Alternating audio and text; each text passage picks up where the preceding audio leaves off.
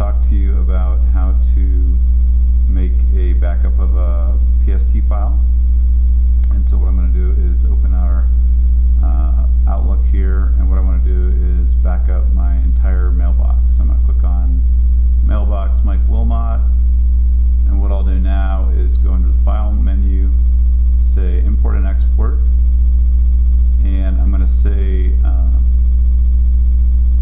what I want to do is export it to a file, so I'm going to hit Next, and what I'll choose is I'm going to pick a, a PST file, I'll hit Next there, and what I want to do is I want to say my mailbox, and I want to, the most important point is to include subfolders. I'm going to hit next there, say replace duplicates, hit finish, and what it's doing for me now, it's backing up my entire email, calendar, and contacts so that if something bad happens on my Exchange server, then I can uh, go ahead and recover that.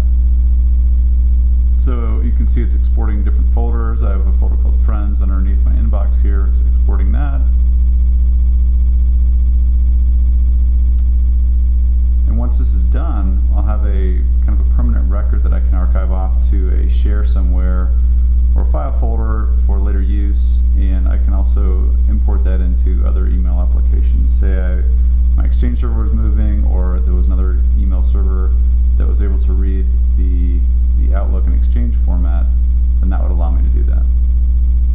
So you can see I have five seconds remaining and ultimately I should have this on my file system here and we'll check that out. You can see now it's exporting the calendar and creating this file calendar backup of 302.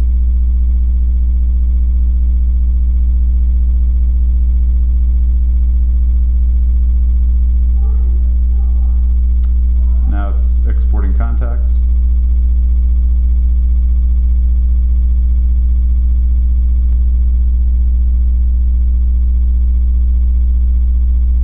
So that's it. I made the recording and we're done now. So